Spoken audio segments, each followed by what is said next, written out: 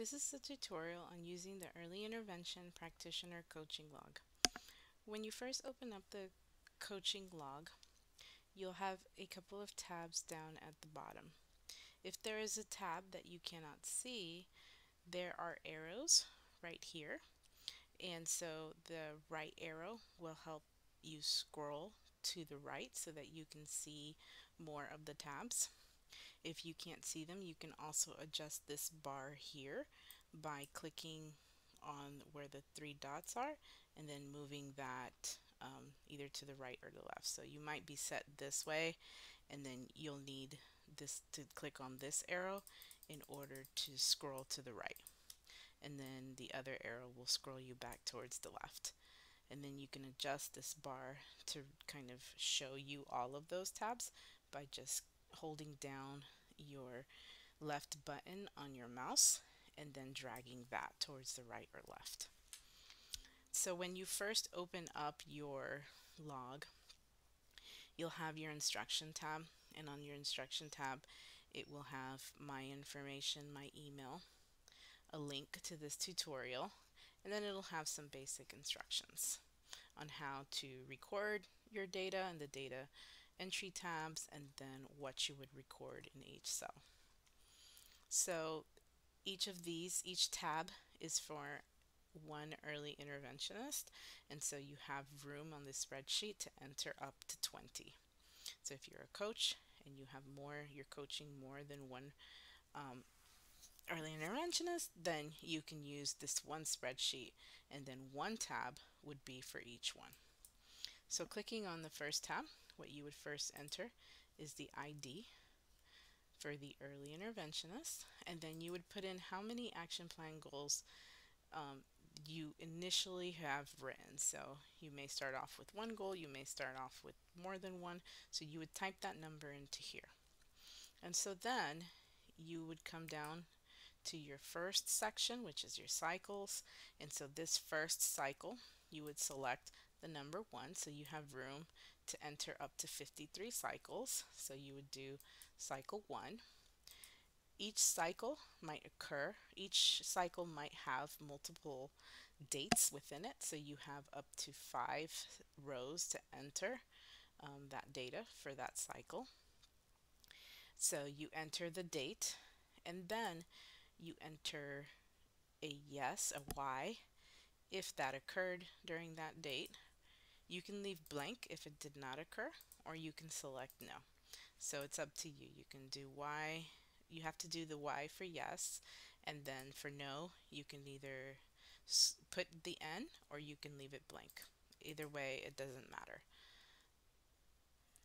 So you enter the observation strategies and then the total observation time for your observation strategies. So if you have multiple dates and multiple observation strategies for those dates, you would keep a running total of the time.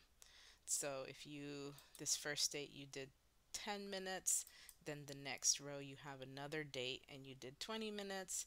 So the first date you would put 10 and then now the second date you would add the 20 to the 10 and then you'd enter 30 here.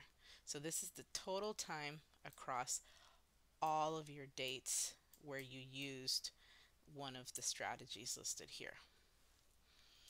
Then if you had um, any debrief strategies, then you would do the same thing.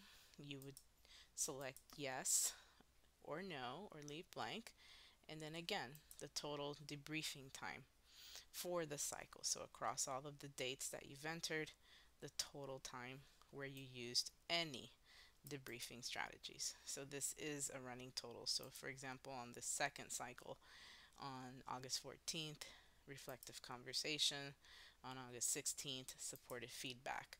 So maybe on the 14th, reflective conversation was only 20 minutes, and then on the 16th, supported feedback was for 25 minutes then you would add that up and put your 45. The next column, you don't do anything here. This is just a check to kind of let you know. Did you complete an observation? Yes. Did you complete debrief? Did you debrief? Yes. If you completed um, your focused observation, you completed debriefing, then you'll get this little green message that says that the cycle is complete.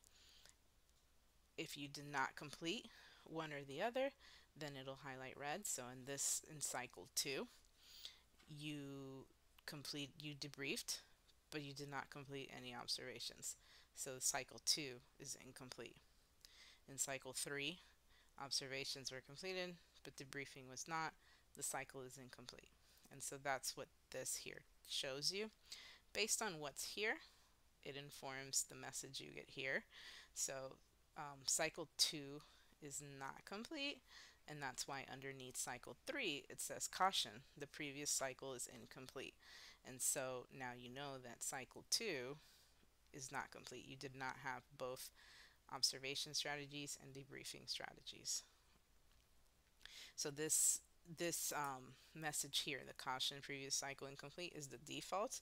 And as you enter data, then it'll disappear if you had a complete cycle um, in the previous, or it will stay lighted, um, which is the case here. So cycle 1 is complete because under cycle 2 there is no message, but cycle 2 is not complete because there is a message here.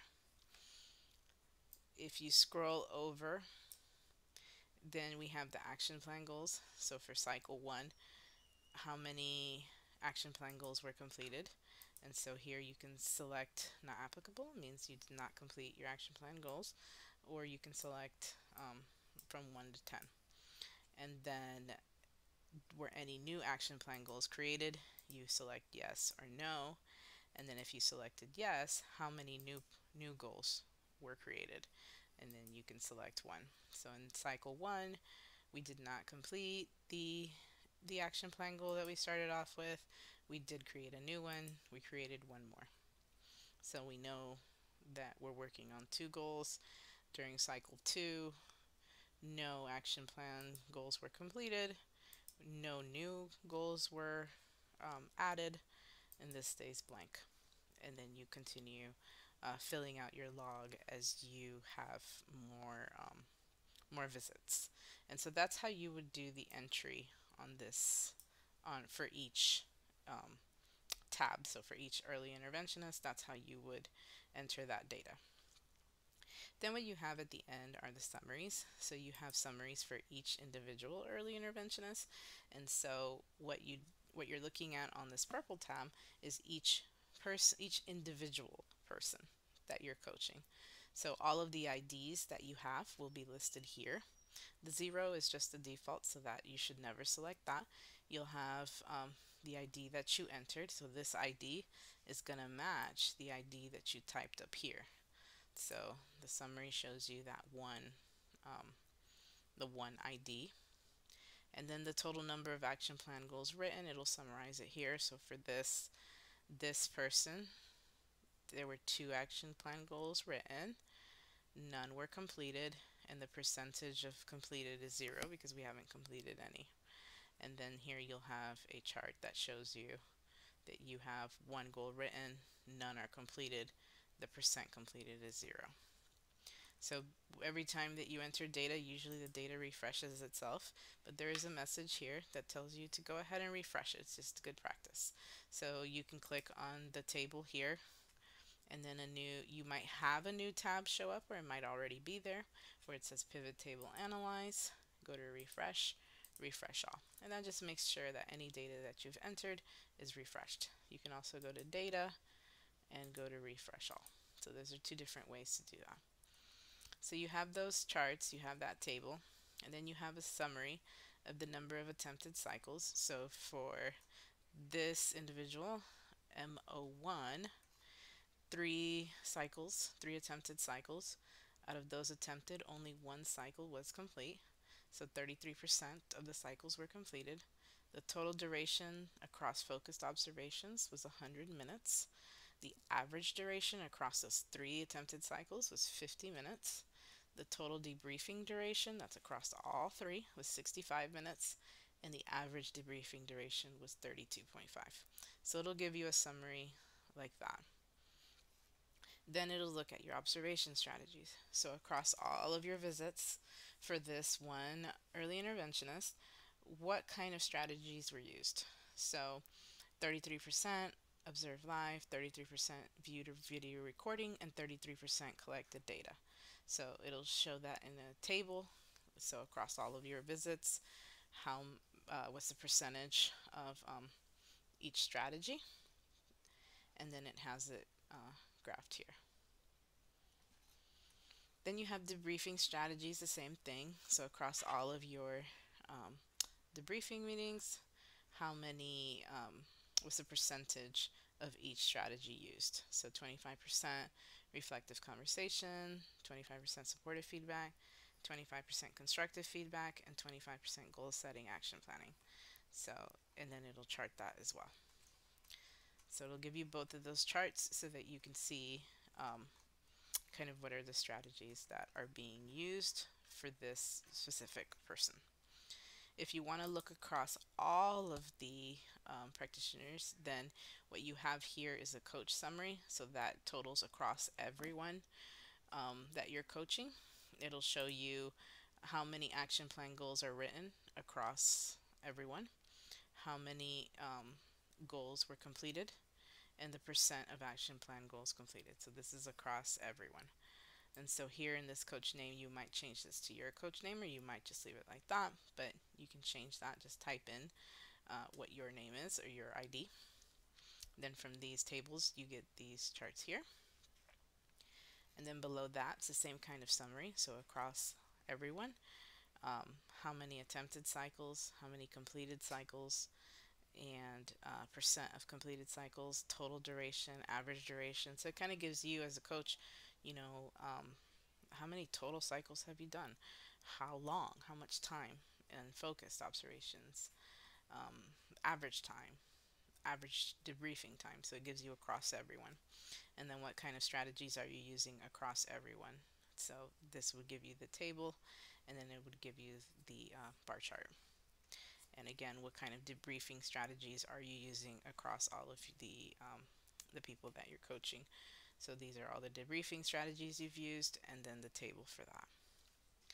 And then this cumulative data just is a table that gives you um, just that cumulative across all of your your um, your early interventionist. So that would is not really used. It's only used if there is um, a summary across all coaches and then in that case then this is when you would use this but if there's not going to be a summary across all coaches then this is not um, important um, all that information is here in um, in this tab in the coach summary and then uh, you can get that there so again, if you have any questions while you're using the spreadsheets on the instruction tab is my name and my email. Feel free to reach out and let me know if you have any questions.